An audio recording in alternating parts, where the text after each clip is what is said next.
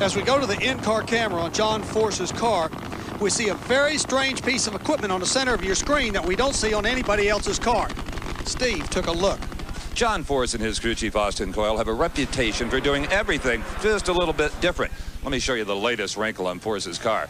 Now, this round hole is required in funny car windows on both sides by NHRA. In case of fire, the safety safari can get a fire hose in there to cool off the driver.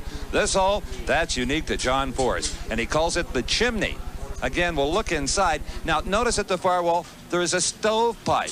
Really, that's stovepipe material you'd on a wood stove. And here's the reasoning behind it. When a blower explodes on one of these cars, and John has had a lot of those, most of the fire and force comes out of the back of the manifold. Well, now when the body is latched down, you see that great big round hole up there surrounded by the silver screws? Well, that's the chimney. When the body is down, that lines up with the back of the manifold. Hopefully, they'll take all of that force and all of that fire and exit it through the smokestack. Force says that's all well and good, but he's hearing weird noises now, engine sounds inside the car that he never heard before. They're routed in there as well. Well, the team obviously trying to figure out ways to uh, not damage the body in those explosions and let that force exit harmlessly to the atmosphere.